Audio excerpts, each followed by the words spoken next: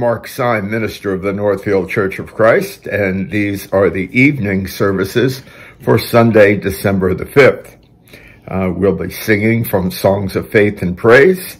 I hope you have a copy of that book with you so that you can join in the singing. And we will start with number 577. 577.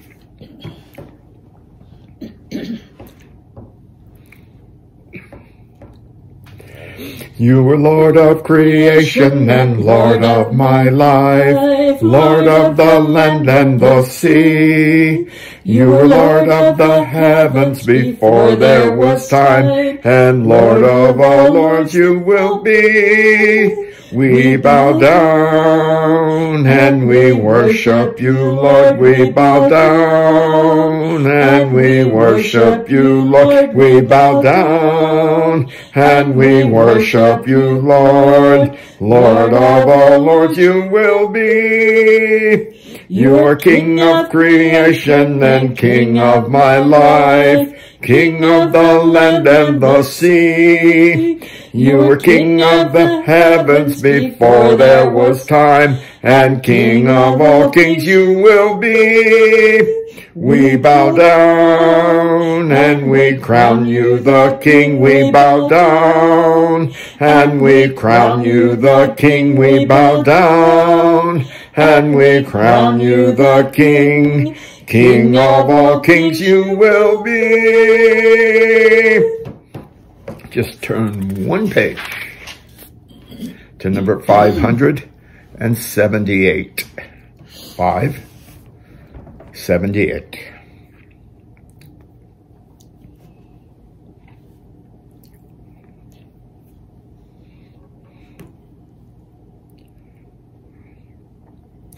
We will glorify the King of Kings. We will glorify the Lamb. We will glorify the Lord of Lords, who is the great I am. Lord Jehovah reigns in majesty. We will bow before his throne. We will worship him in righteousness. We will worship him alone. He is Lord of heaven, Lord of earth. He is Lord of all who live. He is Lord above the universe. All praise to him we give. Hallelujah to the King of Kings. Hallelujah to the Lamb. Hallelujah to the Lord of Lords, who is the great I am. And number 318 will be the song before the Lord's Supper.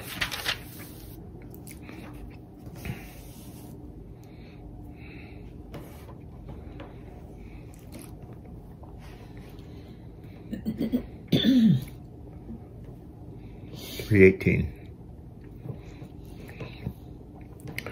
O sacred head now wounded with grief and shame weighed down, now scornfully surrounded with thorns, thine only crown. How thou bare with anguish, with sore abuse and scorn? How does that visage languish, which once was bright as morn?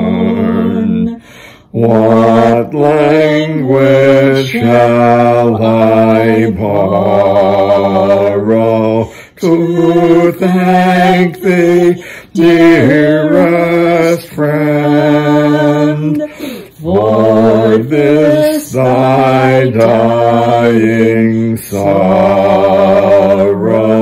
thy pity without end.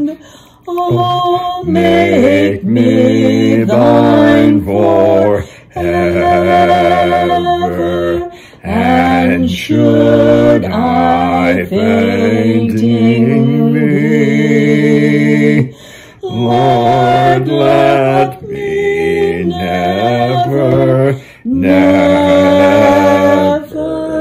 outlive my love thee. It's at this time in our service that we think of uh, our Savior Jesus Christ dying on the cross for the remission of our sins. We are instructed to do this on the first day of the week. The pattern was set uh, in the book of Matthew uh, in the last Passover feast uh, before the crucifixion in what is commonly called the Last Supper. It is uh, reiterated almost word for word by the Apostle Paul in 1 Corinthians chapter 11. And so the, the pattern is laid out for us as we will eat of the bread and drink of the fruit of the vine, as we will think of the body of our Lord, and we will think of the blood that he shed for each one of us. It is uh, just wonderful that this was God's plan. It was wonderful that uh, Jesus came to earth in the form of a human, and he was willing to lower himself uh, to death, even death on the cross. Uh, let's pray for the bread. Heavenly Father, we're grateful for that wonderful plan that you had. And we're grateful that Jesus was willing to carry it out, that he died and gave up his body that we might live, that he suffered the pain and the agony, not only of the physical agony, agony, but the separation for a short time from you as he took on the sins of the world. Bless us as we partake of this uh, bread. We ask this in Jesus' most holy name. Amen.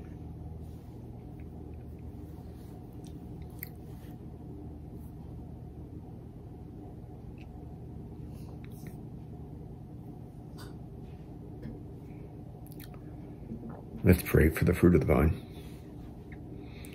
We're so grateful for the lifeblood that Jesus shed from his head, from his hands, from his feet, from his side, that he, uh, that uh, life-giving blood oozed out of his body as he hung upon the cross and died for each of us. We're grateful for that blood and we look upon it as the blood that washes away our sins as we partake of this fruit of the vine. Let's remember that sacrifice that Jesus made for us on the cross. We pray this in his most holy name. Amen.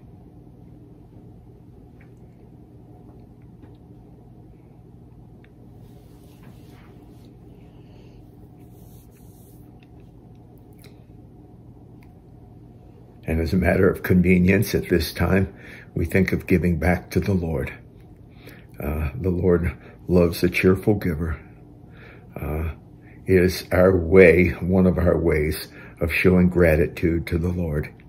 And it is one of the ways that we're able to further the efforts of the church that Jesus died for, uh, to continue its mission here on earth, to con continue its mission of benevolence, and to continue its mission of uh, evangelism.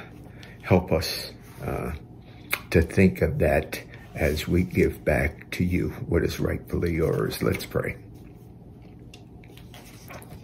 Our Heavenly Father, we're grateful that we have the desire and willingness to give, and we are grateful that we have the ability wherewith to give also. Help us to give with an open heart. Help us to give cheerfully. Help us to give with gratitude.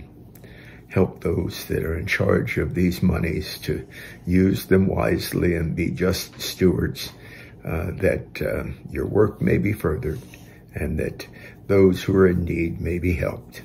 We pray this in his most holy name. Amen. And as a song before the lesson, number 745.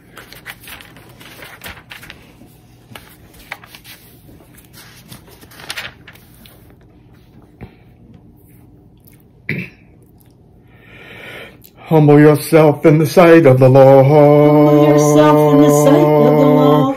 Humble yourself in the sight of the Lord. Humble yourself in the sight of the Lord. And he will lift you up. And he will lift you up. Now Jesus is the Son of God. Now Jesus is the Son of God. Now Jesus is the Son of God. Now Jesus is the Son of God. And he died for us. And he died for us. Amazing grace, how sweet the sound. Amazing grace, how sweet the sound. Amazing grace, how sweet the sound. Amazing grace, how sweet the sound. that saved a wretch like me. That saved a wretch like me. When we've been there ten thousand years. we've been there 10,000 years. When we've been there ten thousand years. When we've been there 10,000 years. Bright shining as the sun. Bright shining as the sun. So humble yourself in the sight of the Lord. So humble yourself in the sight of the Lord. So humble yourself in the sight of the Lord. So humble yourself in the sight of the Lord. And he will lift you up. And he will lift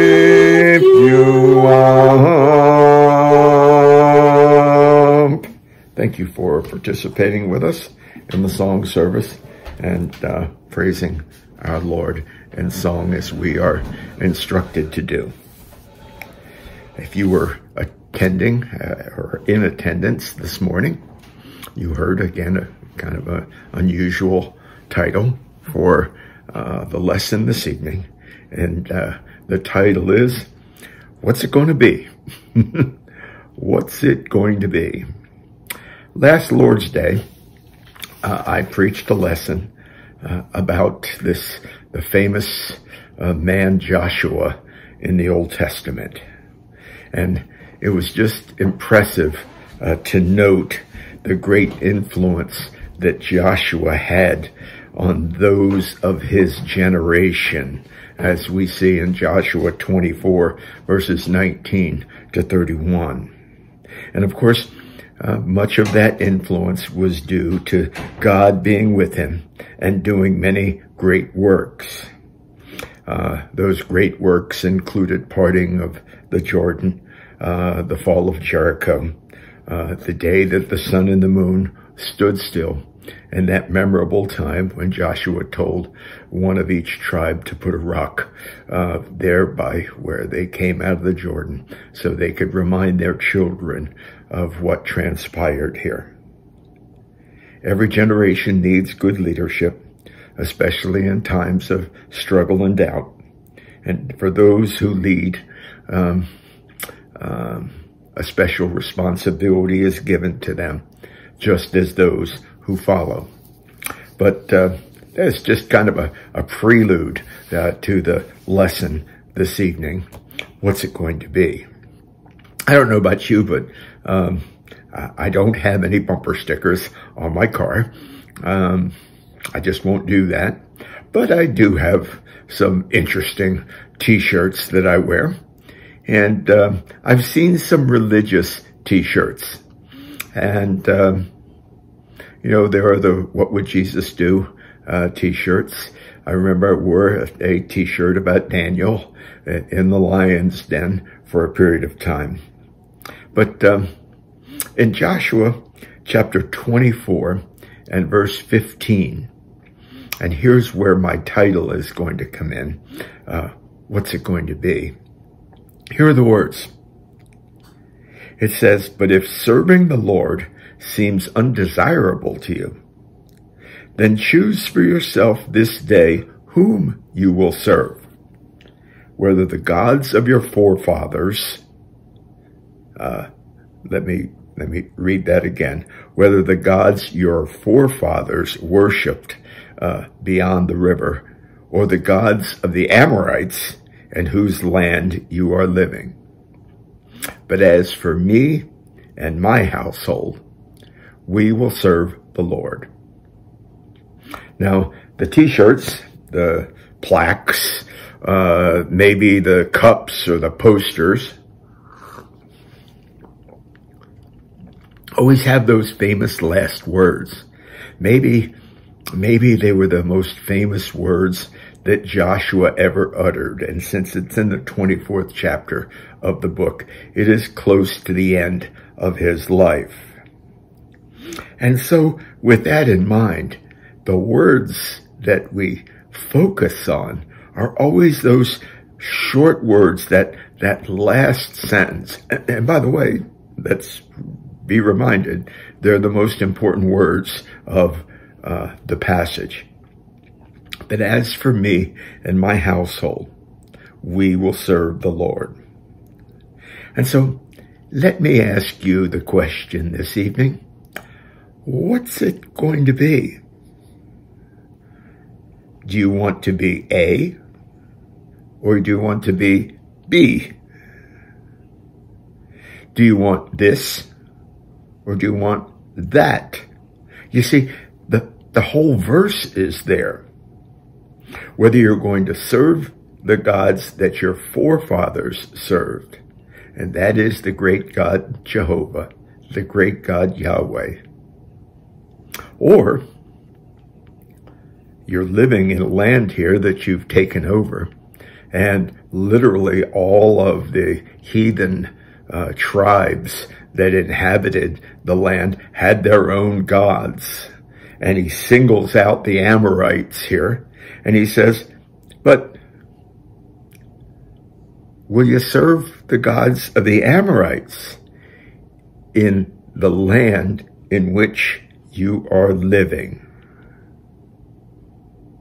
And so, do you want this or that? Do you want God or something or someone else? Um, some of you probably go out to dinner from time to time. I know these aren't as popular as they used to be, but have you ever eaten at a buffet? I am not, not a buffet eater. Uh, I like my food prepared for me, whether it's prepared at home or whether it's prepared at a restaurant. I want to order something from the menu specific. Well, I'm here to tell you today that whether we want to serve God or something or someone else, is it going to be A or B? Is it going to be this or that? Almost says, hey guys, it's a buffet. You can pick a little bit of this and you can pick a little bit of that. Uh, I'll take a little of each, please. But no. Joshua makes it very clear. Are you going to serve who your forefathers served? Or are you going to serve the God of the Amorites, who are the folks in this land that you are inhabiting right now? It's one or the other. Now that's pretty specific. Jesus was very pointed in this. I would almost take it to the point where Jesus was dogmatic in this. In Matthew chapter 7, in the Sermon on the Mount, Jesus said there are two gates. He says there are two roads. He says one of the roads, one of the gates is narrow and the other is wide. He indicates that the narrow road leads to life and the broad road leads to destruction and it leads to death. Again, it's one or the other. It's not a buffet. You can't take a little bit of this and a little bit of that. God doesn't want worldliness in us. He calls us to be godly people. It's our goal in life to have Christ-like attributes in our life. We can't do that if we pick and choose the things that we're going to do. We can't take the narrow way. We can't take the narrow gate and try to take the broad gate and the broad road at the same time. We've got to take one or the other. And so the question is, what's it going to be? Are you going to serve the gods that your forefathers served? Or are you going to serve the gods of this land? And if we bring it down from Joshua's term, time to today, are you going to serve Jesus Christ? Are you going to serve the Father, the true and living God? Or you, are you going to allow worldliness to dominate your life? It would be just like Joshua talking to those people and saying, are you going to worship those pagan gods of the Amorites? The line that has separated the believer and the non-believer has been blurred more than ever in the world that we live in. People think that they can eat at the buffet.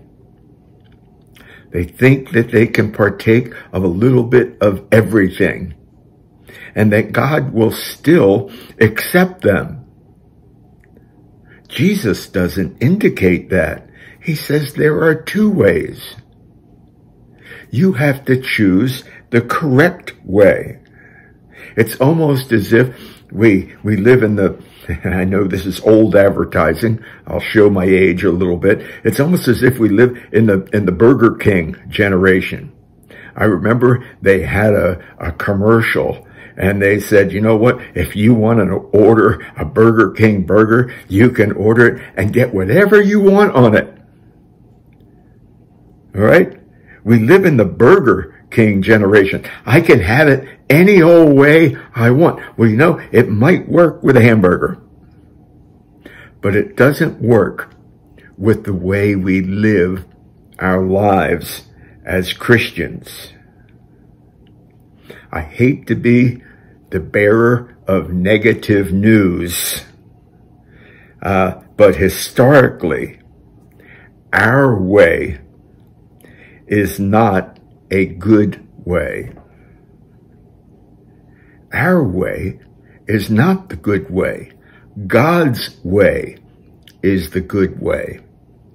And we have to go down the path that God has prescribed for us. Now you've heard this old term and sometimes it's used, ah, you know, it, it's almost in a, in a dominant way, like when one person has dominance over another. And it says, he says, you know what? It's my way or the highway. Well, you know what? Jesus is saying that to us. It's either the one way, the right way, or the wrong way. Now, if we turn to the sixth chapter of the book of Galatians, we can put our finger on this. The sixth chapter of the book of Galatians, starting with verse 7. Right, if, if you want to follow along. Do not be deceived. God is not mocked. For whatever a man sows, this he will also reap. For the one who sows to his own flesh will reap from the flesh corruption. But the one who sows to the Spirit will from the Spirit reap eternal life. You see, Paul is saying there's just one way. There's just one way to sow. We must sow to the Spirit and not to the flesh. We can't have it our own way. We have to have it God's way. Let us not lose heart in doing good, for in due time we will reap if we do not grow weary. So then while we have opportunity, let us do good to all people, especially to those that are of the household of faith. That's part of our sowing. And what we reap when we sow correctly is we reap eternal life. But if folks sow to the flesh, they will reap to the flesh.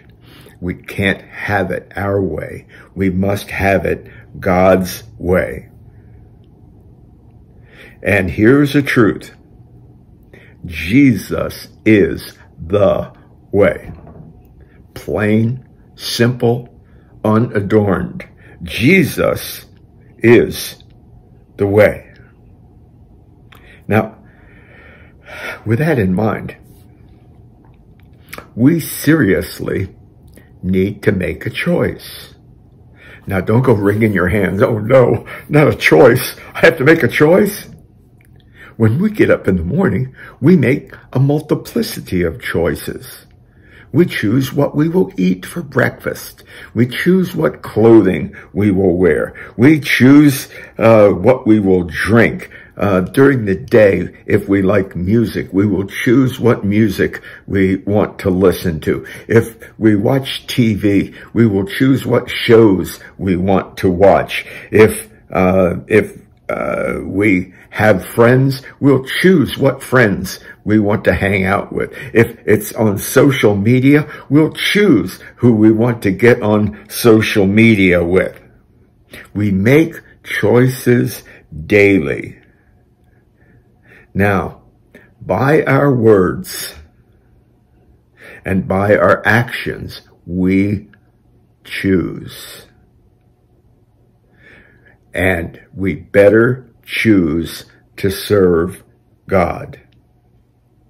While some by their words and by their actions choose not to serve God, my question that rings through to you this evening is, what about you? And we'll go back to the title. What's it going to be? What's it going to be? So if we go back to Joshua's words, what is Joshua saying to the people? Now understand, these are his people. He's the head honcho and has been for quite some time. And the people look up to him and they look up to his leadership. As a matter of fact, my sermon last week was about the leadership of Joshua. What he said is this. The time for riding on the fence is over. There's no straddling the fence. You're either on one side of the fence or the other side of the fence. And so Joshua says, choose. Let's be very specific. Let's look at the verse.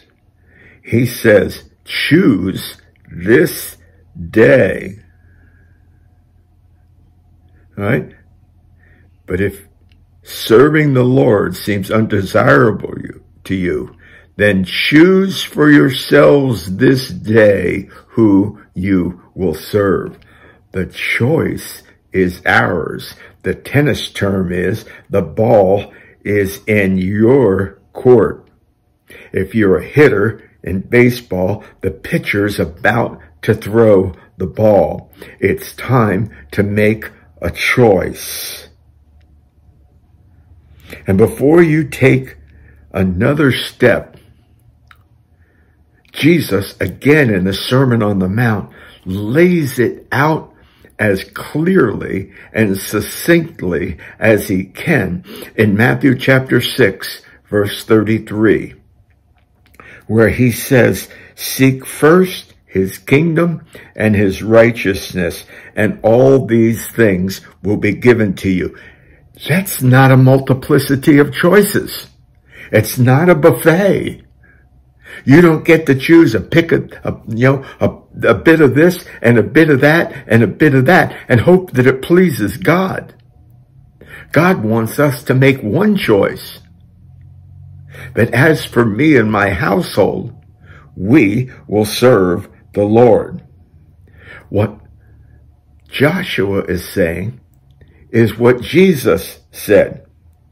First things first. You know what? Maybe we made a bad choice or two yesterday. Let's not give a repeat performance. We can start right now to make good choices. That's what Joshua says. Choose for yourself this day. Make the choice now.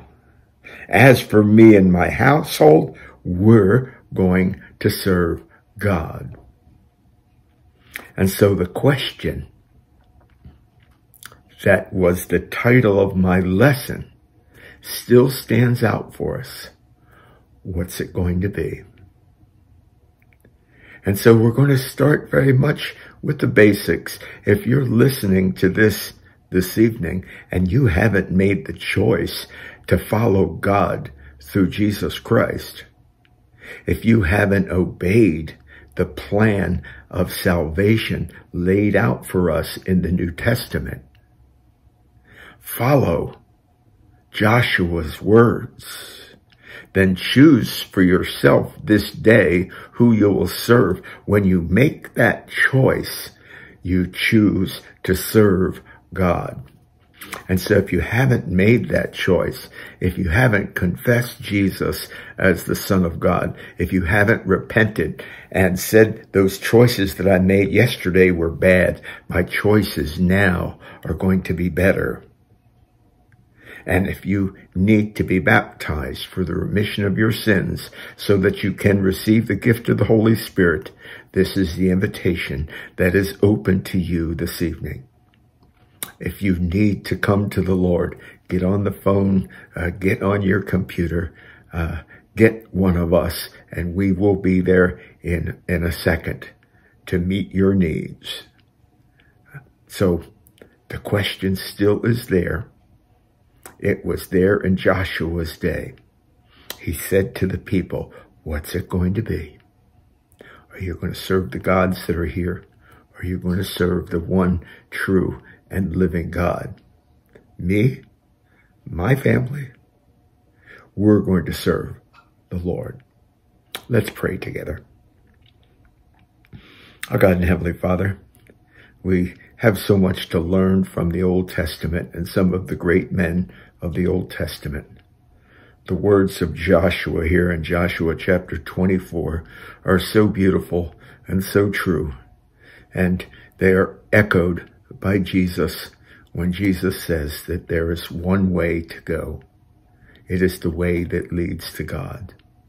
Help us this evening to, if we haven't made that commitment to make it, and if we have made that commitment to firm it up, to, to live our life each day and make the choices necessary that will put us in good light with you. That we will be followers of yours in both word and in deed. Pray that you will bless us through the evening. Uh, uh, make uh, make our pillow uh, the Word of God and the love of God uh, that is within us because of your blessed Son. Continue to be with us. I pray this in Jesus' most holy name. Amen. Please, all of you, be safe and may God bless you.